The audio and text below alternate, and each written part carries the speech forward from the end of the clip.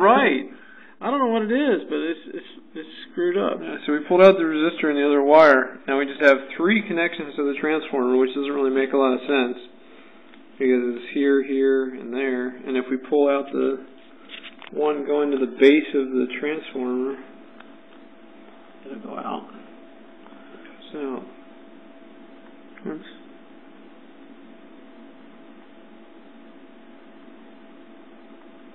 And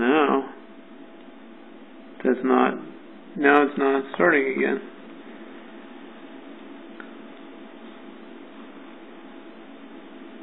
Now it started. Now you can pull it back out because it has flux.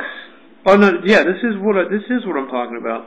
So it creates a magnetic, a permanent magnetic field that holds the the flux, and then when you stop this, it stops the oscillation, right? Mm-hmm.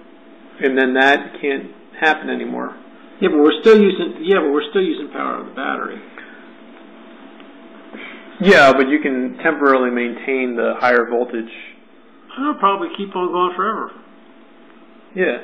Well, not not the, the well until the battery runs out. But Yeah, but I mean, this is going to keep on going because it's it's it's created the magnetic oscillation. oscillation. Now that it started, it's continuing on, which makes I don't get it. it's so screwed up.